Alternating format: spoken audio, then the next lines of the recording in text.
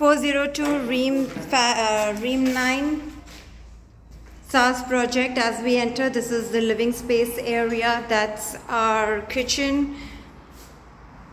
Kitchen comes fully equipped with fridge, washing machine and dishwasher.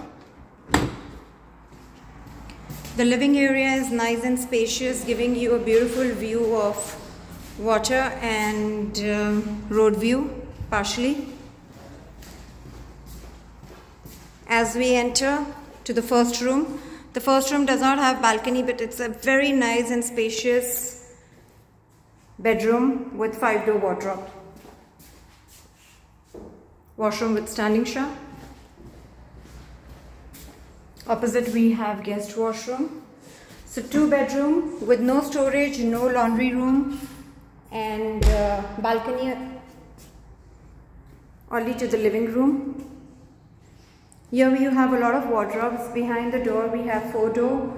As we walk in we have walk-in wardrobe of five door and that's a bathroom, full glass bathroom with standing shower and bathtub. Two bedroom apartment. Bedroom size is very big and spacious. Thank you.